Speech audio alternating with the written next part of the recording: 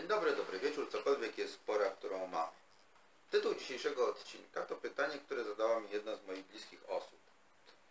Oczekiwała ode mnie odpowiedzi, że nie.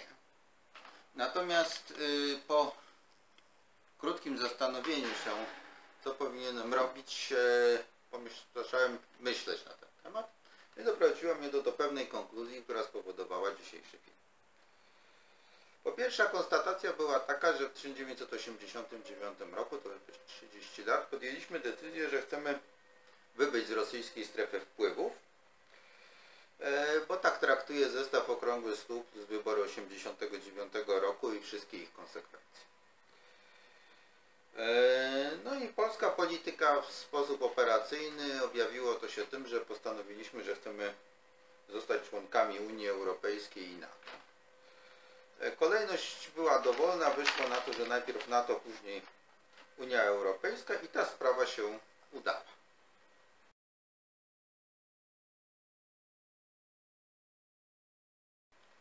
No i mamy w tej chwili taką sytuację, że uważamy, że czujemy się bezpiecznie.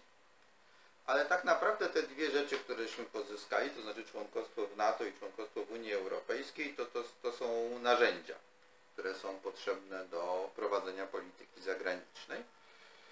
E, I pamiętam takie wspomnienie jednego z polskich wiceministrów, który brał udział w jakimś spotkaniu, że tak powiem, już jako członek NATO i wystąpił do niego jakiś kraj, że tak powiem, bo zwykle to Polska miała prośby do innych, natomiast w tym przypadku to do niego się zwrócono z pytaniem, a co Polska myśli na dany temat. I on szczerze mówiąc był mocno zaskoczony tym pytaniem, odpowiedział pozytywnie, no bo tak mu się wydawało, że będzie najsensowniej. Yy, No natomiast problem polega na tym, że tak naprawdę poza tym członkostwem w Unii w NATO, e, to, mm, to Polska nie bardzo wie, czego by chciała zrobić. Był jeden taki pomysł, to znaczy chcieliśmy pokazać wschód Europy, czyli tą część, która leży na wschód od Unii Europejskiej. Natomiast w czasie pierwszej polskiej prezydencji, natomiast no, zamiast, zamiast pokazywaniem wschodu wylądowaliśmy z akcją pod tytułem Arabska jesień ludów, więc w związku z powyższym trzeba było się zająć Magrebem, no i okazało się, że tutaj Polska nie bardzo ma swoje stanowisko w tej sprawie. Eee, No ale zawsze musi być ale.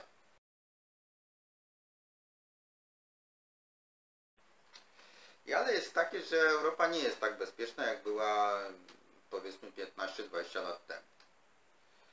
E, Rosja cały czas walczy od tego czasu, walczy o poszerzenie swojej strefy wpływów, co oni nazywają raczej odzyskaniem strefy wpływów. No i to widać tutaj bardzo fajnie na mapce.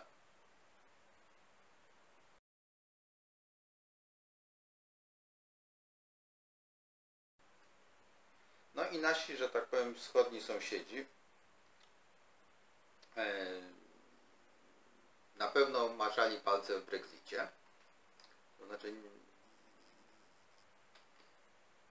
są na to, że tak jest na to dokumentacja, że tak powiem, że działy się tam rzeczy, rzeczy cudowne i, e, przy tym Brexicie i że jest wysoce prawdopodobne, że to jest rosyjska, rosyjska robota mniej bądź bardziej bezpośrednia. Druga sprawa to jest wprost atakowanie krajów e, sąsiednich, mam na myśli przede wszystkim Gruzję i Ukrainę. I to, co powinno być dla nas e, niezwykle, że tak pouczające, to jest kwestia Krymu.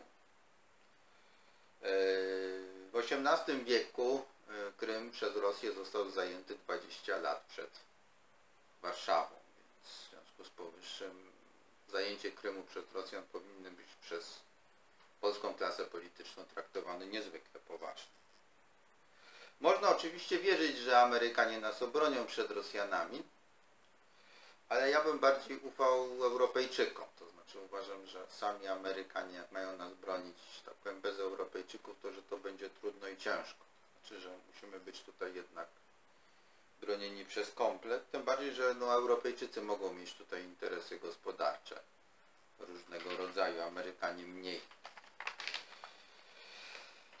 No i moim zdaniem naszym, moim zdaniem naszym zadaniem jako Polski jest pokazanie e, krajom Europy Zachodniej, że jesteśmy podobni do nich, a nie do Rosji.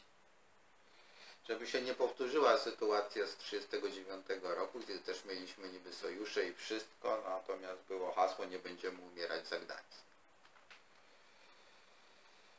A Polska?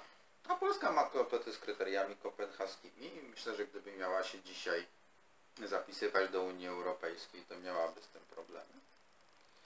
I że nasza przynależność do Zachodu jest, tak powiem, nie do końca poważnie traktowana i można się o tym przekonać.